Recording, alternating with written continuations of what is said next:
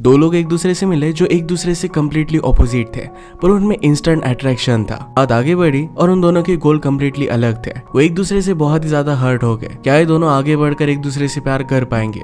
हम आज की हमारी movie without saying good bye ये 2022 की एक रोमांटिक मूवी में देखने वाले ये एक बहुत ही अच्छे से मैसेज के साथ आती है और इसकी एंडिंग भी बहुत ब्यूटीफुल है। तो अंदर इस वीडियो को ज़रूर देखिएगा। अगर आपको ये वीडियो अच्छा लगता है तो प्लीज़ लाइक और कमेंट ज़रूर कर दीजिए।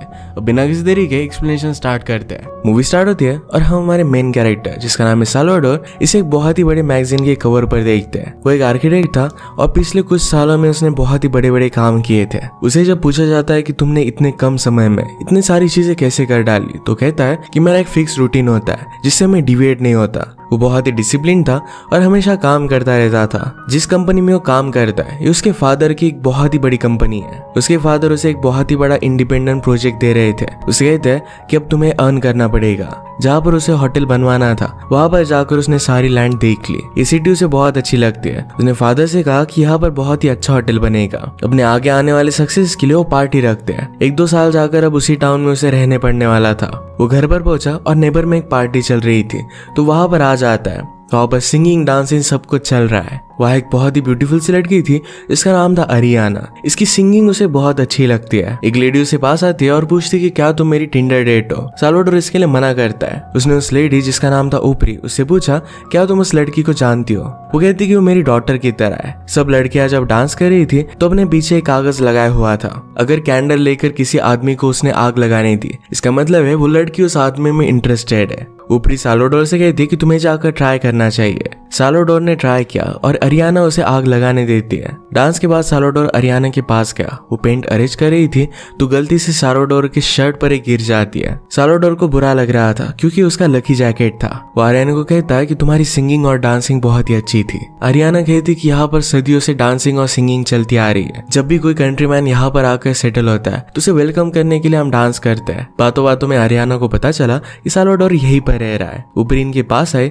तो अरियाना की आंटी है। ऊपरी ने आर्याना से कहा कि इनका अच्छे से ख्याल रखना। ये हमारे नए गेस्ट है। आर्याना एक फ्री स्पिरिट थी। उसे अलग अलग जगह पर जाना और अलग अलग लैंग्वेजेस को सीखना बहुत ही अच्छा लगता था। वो सालोडोर को उसका रूम दिखा देती है। सालोडोर ने पूछा कि तुम्हारी शिफ्ट कब खत्म होती है? आर्याना कहता है कि वो मेरे ऊपर डिपेंड है। सालोडोर कहता है कि मैं तुम्हें ड्रिंक ऑफ़र करना चाहता था। आर्याना कहती कि मुझे हैंडसम लड़के उतने अच्छे नहीं लगते। सालोडोर मज़ाक करता है कि मुझे भी नहीं लगते। आर्याना ने कहा कि तुम्हारे वेलकम के लिए हम ड्रिंक कर ही सकते हैं। उसे पूछता है कि क्या तुम्हारा कोई बॉयफ्रेंड है। अरियाना कहती कि मैं सिंगल हूँ और कोई भी कमिटमेंट नहीं चाहती। सालोडोर कहता है कि मेरा भी कुछ ऐसा ही है, पर कमिटमेंट जब करनी पड़े, तब मैं कर सकता हूँ। इन दोनों ने बहुत सारी बातें की। सालोडोर अरियाना के करीब आ गया। उसे कहती कि मैं फ़र्स्ट डेट पर किस नहीं करती। सालोडोर कहता है कि टेक्निकली हम डेट पर नहीं गए। इसके बाद एक दूसरे को किस कर लेते हैं और वहीं पर इंटीमेट हो गए। नेक्स्ट डे सालोडोर जब हरियाणा से मिला तो उसे कहता है कि कल रात बहुत ही अमेजिंग थी। अपरी को इन दोनों की केमिस्ट्री बहुत अच्छी लगती है। हरियाणा जो भी काम कर रही थी तो सालोडोर उसके पीछे पीछे जा रहा था। उसे पूछती कि तुम यहाँ पर कब तक रुकने वाले हो? वो कहता है कि एक दो साल रुक सकता हो। अरियाना पूछती कि क्या तुम छुट्टी ले रहे हो? सालोडोर कहता है कि यहाँ पर मैं होटल बनवाने के लिए आया हूँ। अपना सारा काम उसे दिखाता है, पर हरियाणा इम्प्रेस नहीं थी। उसे नेचर के अगेंस्ट जाकर बड़ी बड़ी बिल्डिंग्स बनवाना अच्छा नहीं लगता था। सालोडोर का प्लान था कि उनके हॉस्टल को बाय करेगा और वहीं पर होटल बनवाएगा। इस बात से वो बहुत ही ज़्यादा गुस्सा हो गई उसे कहती कि तुम सब कुछ डिस्ट्रॉय करने के लिए आए हो। हमें हॉस्टल कभी भी सेल नहीं करेंगे। उसे जाते जाते कह कर गए कि कल रात जो भी हुआ, वो सिर्फ़ एक रात की बात थी। अब हम दोनों के बीच में कुछ भी नहीं रहेगा। जो भी सालोडोर करने वाला था, इसके बारे में अरियाना ने अपरी से बात की। अपरी उसे समझाने की कोशिश कर दी कि हर वक्त डेवलपमेंट उतनी ज़्यादा बुरी नहीं होती। शायद लोगों को इसकी ज़रूरत भी पड़ेगी। अरियाना ने कहा कि ये घर मेरे लिए बहुत इंपॉर्टेंट है। उसकी पेरेंट्स की निशानी है। अबरी उसकी बातों की उतना ज़्यादा सीरियसली लेती नहीं। हॉस्टल में एक वाटर हीटर की ज़रूरत थी तो सालोडोर ने अपरी को एक गिफ्ट किया। इस जगह के पूरे ब्लूप्रिंट को डिस्कस कर रहे थे। ये आरियाना देखती है और इस बात से वो गुस्सा हो गई थी। वो अपरी को कहती कि तुम इसे सेल कैसे कर सकती हो? अपरी को लग रहा था कि आरियाना और सालोडोर के बीच में फाइट हुई। इसी वजह से वो गुस्सा है। दो तीन दिनों तक आरियाना अपने रूम से बाहर ही नहीं निकली। सालोडोर से कहता है कि तुम दिन में कैसे सो सकती हो? आरियाना कहती कि मैं हमेशा रोबोट की तरह काम नहीं करती रहती।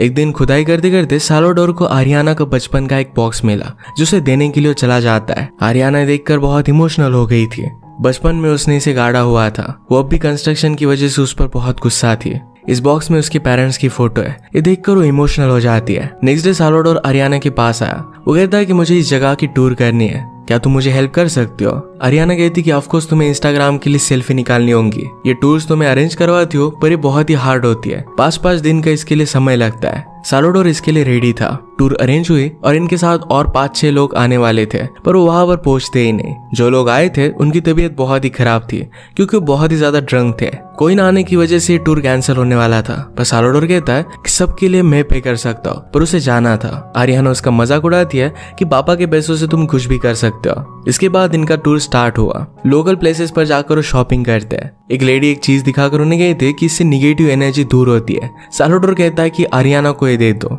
दोनों में फिर से अच्छी से बातें होने लग गई थी। तो सालोडर पूछता है कि मैं होटल बनवाने वाला हूँ, पर इससे तुम्हें इतना ज़्यादा प्रॉब्लम क्यों हो रहा है? इससे टूरिज़्म बढ़ेगा और बहुत सारा प्रॉफिट होगा। अरियाना कहती कि इस प्लेस की ब्यूटी इसके कल्चर में है अलग अलग प्लेसेस में नहीं। वो इस तरीके से उस कल्चर के अगेंस्ट नहीं जा सकती थी। वो उस पर बहुत गुस्सा हो गई थी। तो सालोडोर कहता है कि तुम मुझसे डिसएग्री हो सकती हो, पर इस तरीके से मुझसे बात करने की कोई ज़रूरत नहीं है। सालोडोर ने एक चर्च देखा और वहाँ पर वो जाना चाहता था, पर अरियाना कहती कि मैं उस पर बिलीव नहीं करती। हेवन से उसकी मदर उसका ख्याल रख रही है। इसी चीज़ पर वो बिलीव करती थी।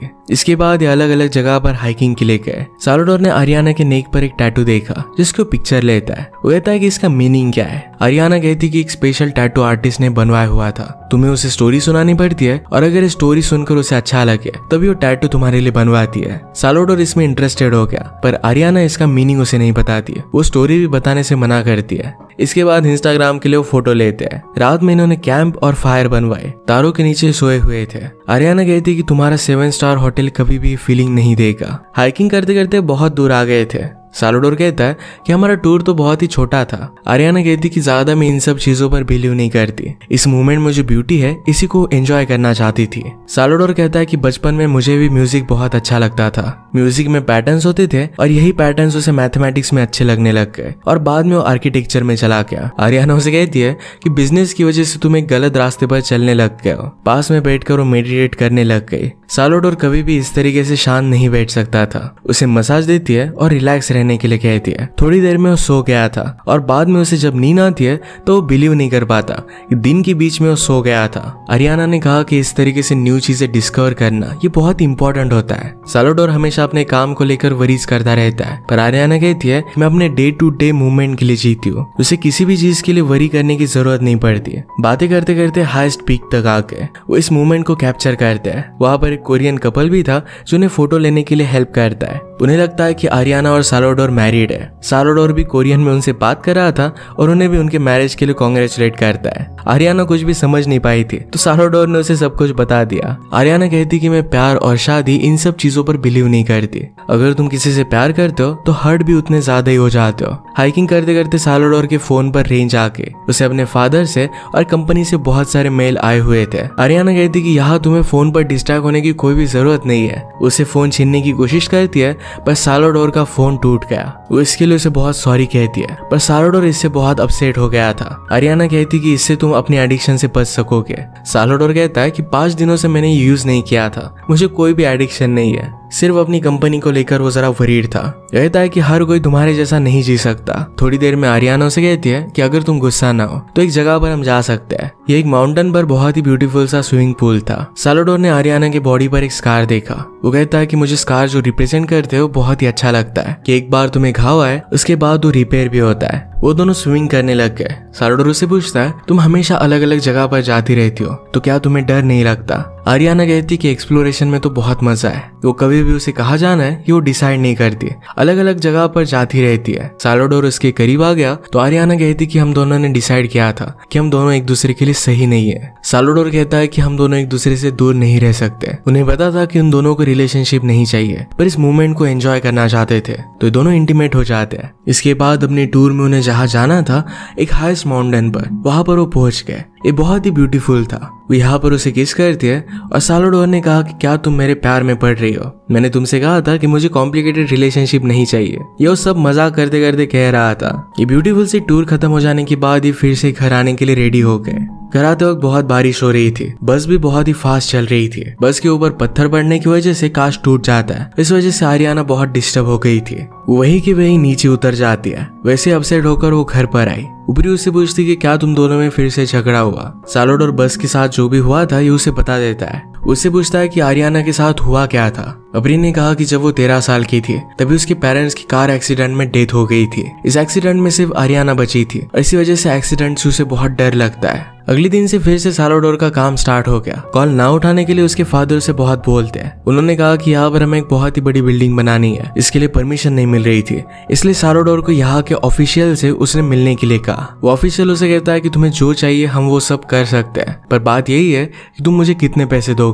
इस तरीके से बिज़नेस करना सालाडोर को अच्छा नहीं लगता था, पर फिर भी उसके पास अपने फादर की वजह से कोई भी चॉइस नहीं थी। आरियाना पूरे दिन तक अपने घर से बाहर नहीं निकली टोपरी उसके पास आई। आरियाना उसे यह है कि कुछ कार्स कभी भी हील नहीं होते। अब भी वो अपने पेरेंट्स को बहुत मिस करती थी। थोड़ी देर बाद आरियाना को जब अच्छा लगने लग गया तो सालोडोर उसके पास आता है। वो काम कर कर जरा थक गया था तो नेचुरली उसका मसाज वो करने लग जाती है। उबरी को उन दोनों की केमिस्ट्री बहुत अच्छी लगती है। आरियाना ने कहा कि आज शाम एक फेस्टिवल है तो सालोडोर भी उसके साथ जाना चाहता है। रास्ते में इन्हें बहुत सारे फूल देखे। सालोडोर कहता है कि इस जगह पर हमेशा मुझे सरप्राइजेस मिलते रहते हैं। इन्होंने फेस्टिवल को ज्वाइन किया, वहाँ पर म्यूज़िक अलग अलग खाना, ये सब कुछ बहुत ही ब्यूटीफुल था। सब लोगों के साथ वो घुल मिल जाता है फ़ूड टेस्ट करता है डांस करता है। हरियाणा उसका मज़ाक करती है, तुम्हारा डांस बहुत ही ब्यूटीफुल है। एक दूसरे का साथ इन्हें बहुत ही अच्छा लग रहा था। रात में सालोडोर को उसके फादर मैसेज करते हैं। कहते हैं कि अब तक लैंड की डील तुमने कंप्लीट नहीं की है। कल तक अगर तुमने इसे कंप्लीट नहीं किया तो हमेशा के लिए इस प्रोजेक्ट को गुड बाय कह देना।